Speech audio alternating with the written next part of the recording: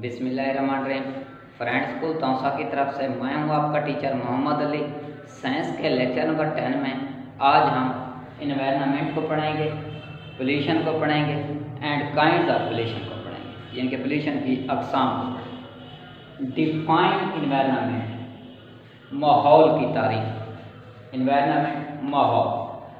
Things around make our environment हमारे इर्द गिर्द की चीज़ें माहौल बनाती हैं।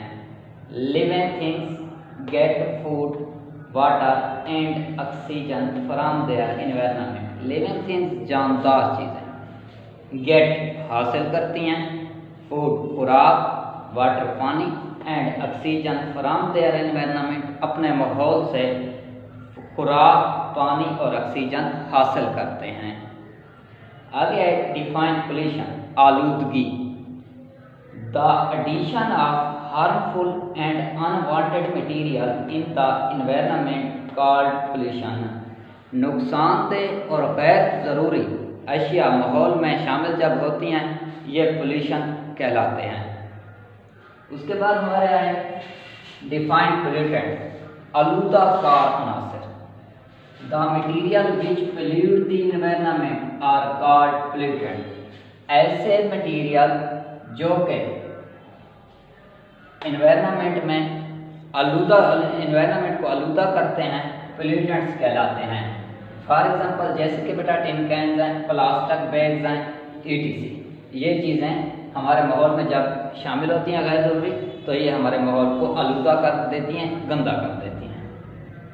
उसके बाद बेटा काइंड ऑफ़ पोल्यूशन पोल्यूशन की अकसाम। इसकी बेटा तीन अकसाम हैं। वो कौन कौन सी हैं? एयर पोल्यूशन हवाई आलूदगी वाटर पोल्यूशन आबी आलूदगी लैंड पोल्यूशन अब पढ़ेंगे बेटा एयर पोल्यूशन फिजाई आलूदगी के बारे में।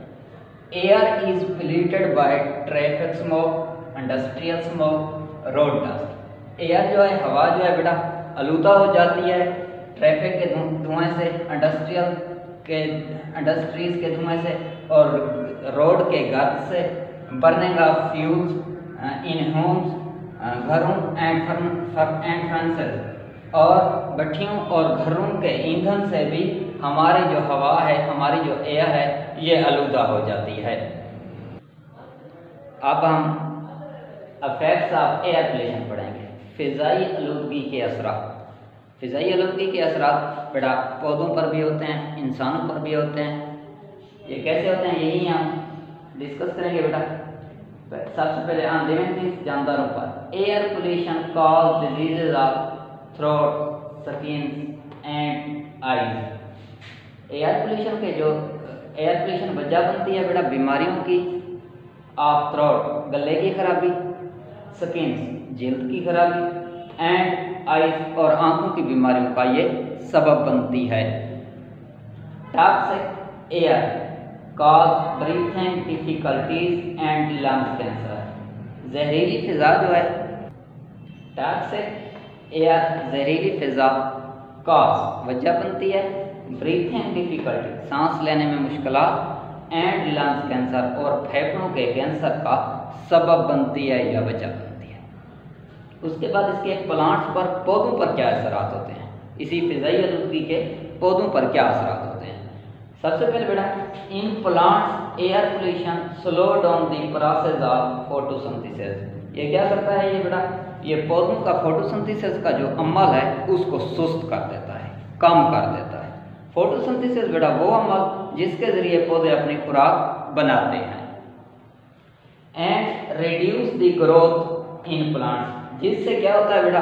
पौधों की नशो नमा कम हो जाती है या रिड्यूस हो जाती है। उसके बाद है बेटा हमारा। How to way reduce air pollution हम एयर पोल्यूशन को फिजाई आलूदगी को कम कैसे कर सकते हैं? वो कौन कौन से स्टेप्स हमें लेने चाहिए जिससे एयर पोल्यूशन कम हो जाए?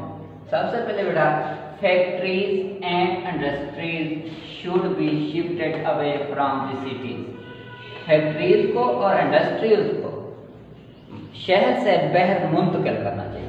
शिफ्ट शिफ्टेड में मुंतकल करना चाहिए। अवेयर फ्राम द शहरों से बहर मुंतकल कर देना चाहिए। इससे क्या होगा? इससे बेटा एयर पोल्यूशन कम होगी। Reduce the number of vehicle on the road गाड़ियों की तादाद रोड पर कम करनी चाहिए।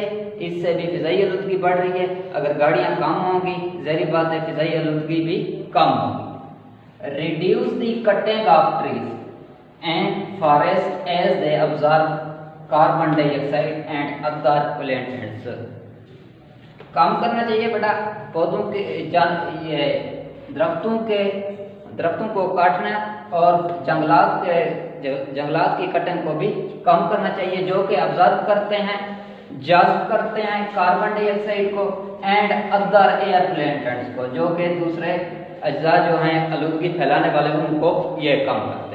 आज का हमारा टॉपिक यही था बेटा अल्लाह हाफिज।